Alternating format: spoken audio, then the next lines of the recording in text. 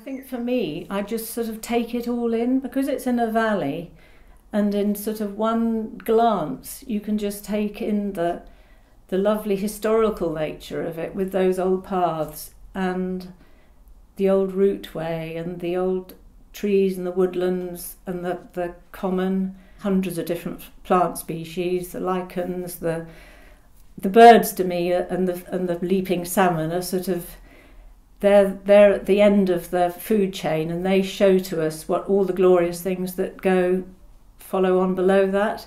Francis Kilvert, who in um, the summer of 1876 was walking up the Marteg Valley, commented on how lovely it was well, to hear the cuckoo there. If you're lucky enough to be in Gilfach in May, you still hear the cuckoo up on the hill there. The fact that we can still hear a cuckoo is a great celebration of what the Radnorshire Wildlife Trust achieved in keeping those wonderful habitats going.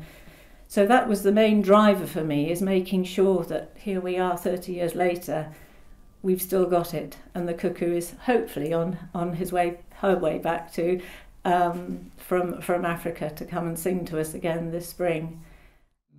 My first memory when I got when I got there the first morning, um, I was by myself. I moved in initially by myself, and then Friedel came about uh, a month later was walking round the corner, and just ahead of me was a stoat pulling a rabbit down the drive. Um, which again, I mean, I'd seen hundreds of stoats before, but it was just to have it just outside the front, the front door. Um, and another very strong memory is sitting over in the picnic area with my sandals on, enjoying a well well deserved glass of beer, and a polecat came out of the heap of um, wood in front of me, about six inches away from my toes and sort of looked around. I didn't move, and I thought, well, if I move, it will probably bite me on the toe. But uh, you know, these were the sort of things that just happen in the Gilfach all the time. You know, you can't just pick one instance. Uh, it was just all the time. You would have these little flashes of uh, brilliance. Um, but what we also had, what we did have, which is worth mentioning, is uh, glowworms in the railway cutting. So come June, if it, if it was a nice mild June, you could go down into the railway and all the banks would just be covered in these little lights from the glowworms. They're great for butterflies as well. Green hair streaks, but you also have purple hair streaks in the upper tree. But you, I think only once, twice did I see a purple hair streak. You know, but green hair streaks were as common as anything. I, I know the time, 4.30 on a November afternoon. I was at the uh, at the waterfall watching salmon. And uh,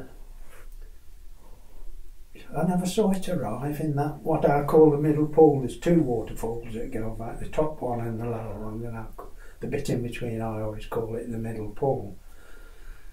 And suddenly there's an otter, just its head, swimming across the middle pool. Well, I never saw it arrive or anything. And it came out on the opposite bank, climbed up the bank, and it scratched itself like a dog. You know, I'd never seen one out of the water before, and it was just sort of like a cat, a dog. It sort of it came down and dived into the water. It was about a six foot drop from the top to the water, but it it had been there before, obviously, because it knew, and it dived in and had gone. But I have seen the salmon jumping down. I think that's lots of people a very special time to go down there. It's such a dramatic little stretch of the river when it goes crashing down through the rocks, and uh, it's very exciting to see the salmon. And um, that was a thrill when when we first went to see them. It walked below the platform, and if you'd had a stick, you could have poked it with a stick, and. Uh, we uh, we're all leaning over the cup. It's hard to keep quiet. And Viv's saying, keep quiet, keep quiet. But we're all going, wow, otter, oh. But it didn't take any notice of us. It, it sort of went, went along. And uh, what I call the salmon ladder where they leap, you can't see that. It, there's three stages to it, but you can't see that when the water's rushing down. But And it went in it sort of slid into the water halfway up this salmon ladder. So the water swept it down. You it's strange to watch these things do this. As soon as it had got into the pool at the bottom, it had got a salmon and it was a big one. Uh, It was as big as the otter. It held it, it, it clutched it between its front legs and it was holding it and its tail was up and its tail was bigger than the otter's head, wasn't it? What's this fly, Mike?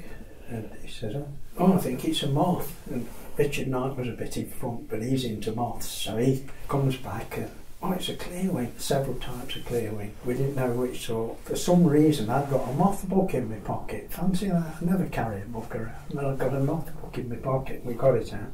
It was a Welsh clearwing. Richard was really excited. That was the discovery of the Welsh clearwing in Radnorshire. The mice, they'd actually stare you out. They were really cheeky, but that got dealt with over a period of time, a long time. a long time. but saw no end of stoats up on the hill at the back there, where the ant hills are, no end of stoats, and round the farmyard. But the weasels in the wall, they, they were a bit special. They really mm. were. Perhaps only be one, but because of the quickness and the way it moved in and out the wall, you'd think there were six, but probably just the one the owls, the calling of the owls, the first woodpeckers drumming.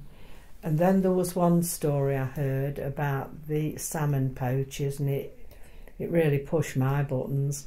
Um, one night the river watchers were out and they were waiting in the little hut which is now a bird hide.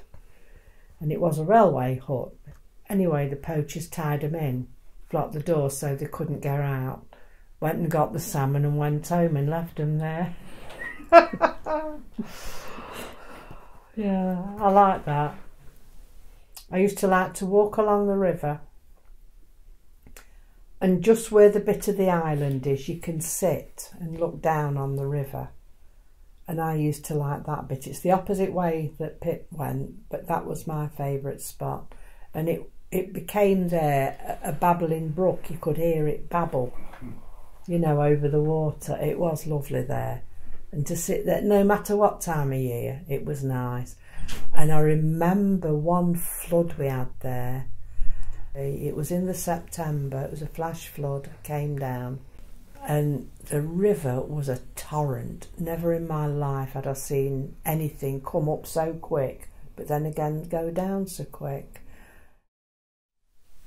The Tawny Owl was I lay in bed one night and I could hear barn owls and I opened, the window was open, that's all to and I leaned out and in the uh, the byre next door they've got a dovecot uh, dovecot thing. They must have been young they, they weren't uh, they weren't born in there, but there were young barn owls in there. One, one, one came out and another one was on the roof of the uh, visitor centre across the yard. I think there were about three or four of them calling. I think that was the year when we had uh, barn owls in the barn owl box. So I think they'd come from there. They didn't they didn't breed in that dovecot, but they were in there. The world with this amazing library of genetic diversity, which in future we could draw on. Um, we don't know when we might need it. But uh, you know, sure enough, I think you know as the climate warms, I'm now seeing a rust fungus attacking ryegrass, and it may well be that ryegrass is not the best plant for the future. So some of the grasses, the wild grasses that we've got to Gilfach, maybe the future of upland agriculture.